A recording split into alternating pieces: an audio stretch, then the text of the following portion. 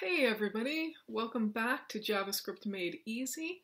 In today's video we are going to take a look at another JavaScript array method, and this time we will look at the splice method. If you're brand new to JavaScript, don't worry, I'm going to walk you through this slowly. You should know at least what an array is.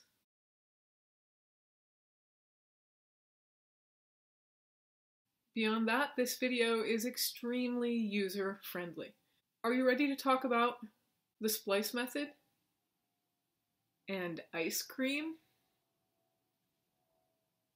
All right, let's get started. Be sure that you don't confuse the splice method with the slice method. I have another video on the slice method where we talk about pizza instead of ice cream. So if you want to see the video on the slice method, I'll put a link to that in the comments below. But today, we'll be looking at the splice method. So as usual, let's go ahead and take a look at the MDN page for the splice method to get a general idea of how the splice method works. As I've said before, it's a really good idea to get in the habit of checking the Mozilla Developer Network page when you're unsure or need to review how one of the JavaScript methods work. So as we can see here, the splice method changes the content of an array by removing existing elements from the array, or by adding new elements to the array, or by doing both of those things all at the same time. This method takes up to three arguments or parameters, a starting index, a delete count, the number of items you want to remove, and optionally the items that you want to add to the array if you're adding items to the array. Now this is different from the slice method because the slice method, as we can see here, returns a copy of a portion of an array in a new array object. So we would use the slice method when we want to keep our original array intact, but make a copy of some portion of that original array. Whereas with the splice method, we're actually going to change the original array by either removing items from the array or adding items to the array, or by doing both. Now, there are other ways to remove and add items from arrays. Perhaps you've heard of the push method or the pop method or the shift method or the unshift method. Those are very common methods to use, but they're very limited because they only allow you to add and remove from either the beginning or the end of an array. So let's talk about ice cream and how to use this really handy, fantastic splice method. The splice method is used to remove or add elements to and from an array Let's look first at how to use the splice method to remove elements of an array. And we do this by relying on the index of the array. So here we have an array. We've declared it var ice cream, and we've set that equal to an array with four items in it, all strings. So we have sherbet, raspberry, caramel, and cherry. Now, as I said, if we wanted to add an item to the end of the array after cherry, we could use the push method, because the push method allows us to add items to the end of an array. But it's limited because we can only add them to the end with the push method. Now, if we wanted to add an item to the beginning of the array before sherbet, we could use the unshift method. Also very limited because it only allows us to add an item to the very beginning of the array. So the splice method allows us to add and remove elements at a specific index in the array. That is, we can remove elements from anywhere in the array and we can add elements back into anywhere in the array. So as you know, array elements are located by index. The first element in the array has an index of 0, the second element in the array has an index of 1, and so on. We will remove items by their index or their location in the array. Again, we could use push to add an item to the end of the array. We could use pop to remove an item from the end of the array. We could use unshift to add an item to the beginning of the array. And we could use shift to remove an item from the beginning of the array. Splice is much more useful to us. So what we want to start out with is a little exercise in using the splice method that allows us to remove one of the elements from the array. Let's try to remove the caramel ice cream from the array. That is, the element at the second index, the third element of our array, the caramel ice cream, which is located at index 2. So how do we use the splice method to remove this item from the array? Let's take a look. Let's start out by declaring our array for our ice cream.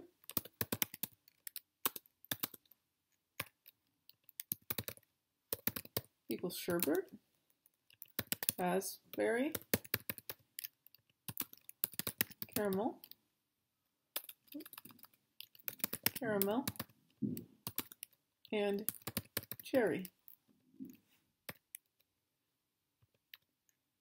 Now, if we type in ice cream, we can see that that now holds the value of sherbet, raspberry, caramel, and cherry. Let's go ahead and apply the splice method to remove the caramel ice cream from the array. So remember to remove an item with the splice method. We will perform the splice method on the array, and we need to give the starting index and the number of items that we want to remove. We don't need the third parameter because we're not adding any items just yet. So what we will do is call the splice method on the array.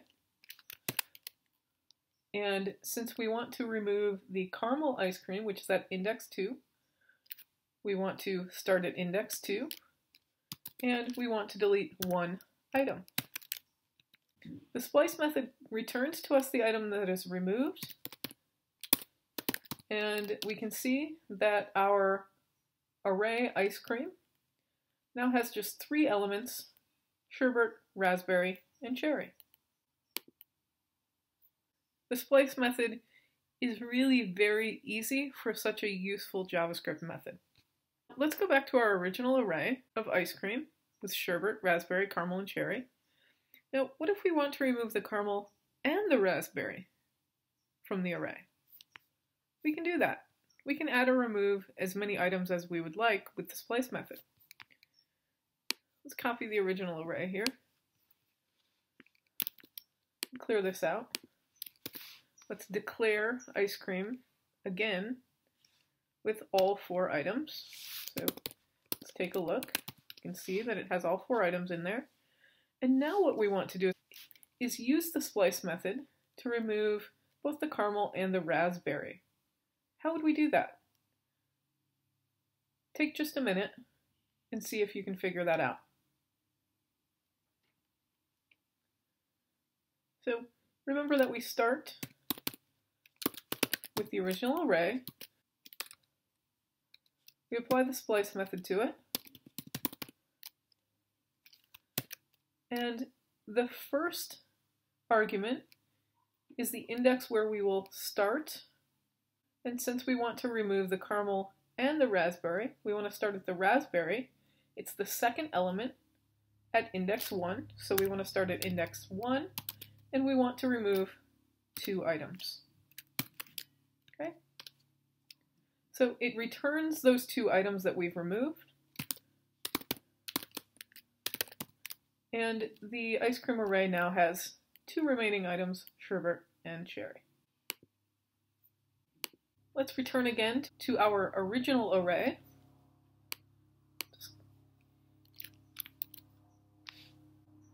We'll just go ahead and copy that original array again. Ice cream So we have all four flavors back in our ice cream array. And now, what if we want to remove the raspberry, caramel, and cherry? and we want to add in a chocolate cone. Well, first, let's just see how we might remove the raspberry, caramel, and cherry from our ice cream array. So this should start to feel familiar. We'll start with the ice cream array. We'll call the splice method on it. We know that we want to start at index 1 with a raspberry, and we want to remove three items. Let's see how that works. Yep, we've removed all three. And we have just sherbet remaining. But we can also remove all three of these items simply by starting at index 1 and not giving the second argument. So if we just do ice cream dot splice and we only pass in index 1 for an argument, it's still going to remove all three elements. The reason for this is that if you only pass in the first argument, the index at which to begin removing items, it will remove all of the items in the in the array starting with that index number.